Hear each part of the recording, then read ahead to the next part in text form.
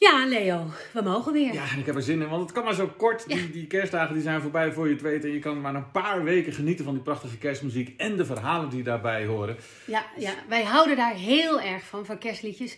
En eh, gelukkig vinden we elk jaar weer leuke gasten die dat net zo leuk vinden als wij.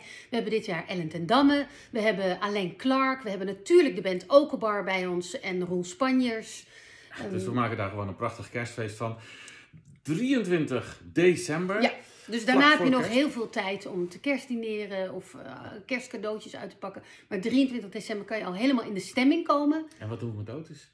Wat doen we met Otis? Ehm, die nemen we mee. Beetje piano. Beetje piano. Ja, een beetje piano hoor. Ja, Hartstikke leuk. Wij komen en we hopen dat jullie er ook zijn. 23 december in de film. tot dan.